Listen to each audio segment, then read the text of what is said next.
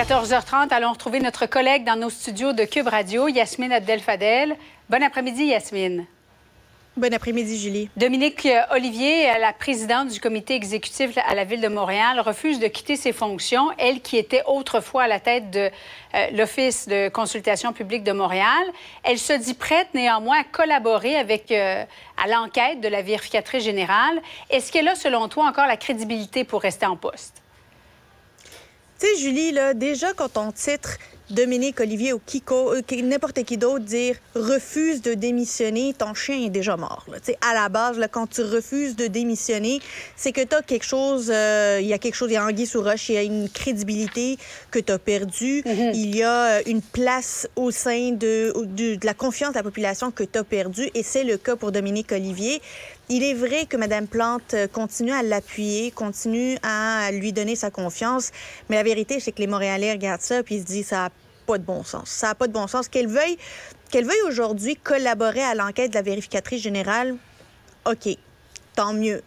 Euh, toujours est-il qu'elle a fait preuve d'un sérieux manque de jugement lorsqu'elle était présidente de l'Office de consultation publique de Montréal. Mm-hmm. Et rien ne laisse croire que ce manque de jugement ne peut pas se répéter.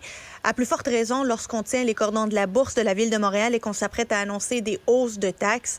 Rappelons-nous aussi que Mme Olivier a annoncé il y a encore quelques semaines un envoi de boni, là, de rendement à des cadres et euh, a dû justifier la raison pour laquelle on a pris cette initiative à l'heure où les finances publiques de la ville de Montréal sont, euh, très serrées. Bref, je pense qu'elle n'a plus la crédibilité nécessaire. Je pense que Mme Olivier doit aussi se rendre compte de l'évidence et de quitter par elle-même. Rencontre au sommet cet après-midi à 16 h entre le premier ministre, notamment François Legault et Bruno Marchand, concernant le tramway de, Québec, le plan B hein, du maire de Québec, qui veut continuer de faire avancer son projet, mais plusieurs parlent encore de définir le projet. Euh, as-tu l'impression qu'on retourne à la case départ?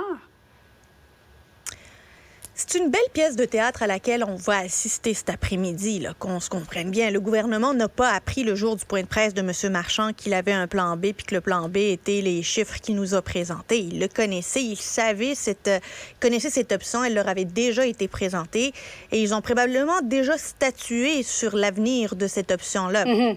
Là, maintenant, ils le font venir au bureau du premier ministre pour que ce soit lui qui, en sortant, va devoir se justifier auprès des médias sur qu'est-ce qui s'est passé durant cette euh, rencontre-là.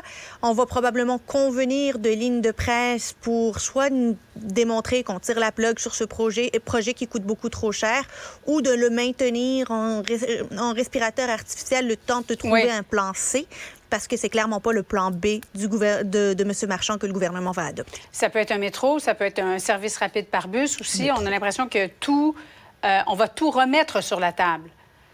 Ah, on repart, on repart encore pour un bon petit 10 ans de réflexion. Puis, euh, quelque part, en 2040-2050, Québec va finir par avoir un système de transport en commun. Pas 2050.